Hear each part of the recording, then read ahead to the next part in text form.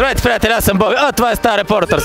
До мен е Михайла Филева, която е била на Пинк, на Ed Sheeran, на концерти и подготвя своя концерт. Да, така е. А, не своя концерт, но своето първо самостоятелно национално турне. Виж колко бравурно, помпозно звучи. Но е точно така. Да, така е, много е хубаво. Ама не ти ли писват тия концерти вече? Не, все по-хубаво ми става, защото някакси все повече музика имам, все повече хора, които разпознават себе си в музиката ми и всъщност става все по-смислено. Според мен ти трябва много да благодариш на графа винаги, защото покрай него той ви накара, дори с тебе си накара да правите тази жива музика и тази вълна от жива музика, не тези само клубни участия, в които има някакво дранчене.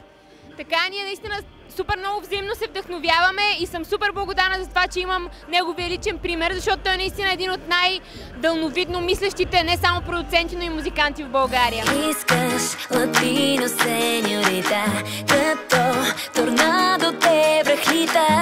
Алма, hija del amor, amor.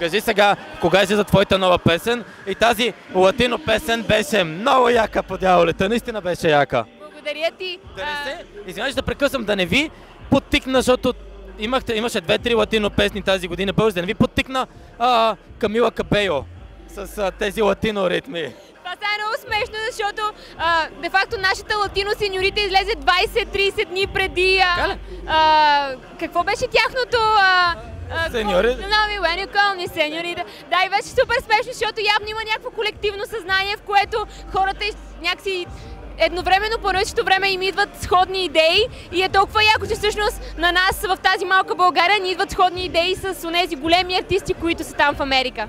Не зная утре какво ще ми донесе Но знам, че с тебе се чувствам все по-добре Докосване,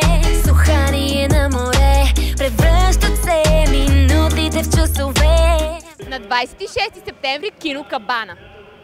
Там стават жестоки парти, силно се надявам да не е студено, наистина, наистина. Ми, дано да не вали, ако вали дъждобрани неща и пак сме там. Там сме на 26-ти.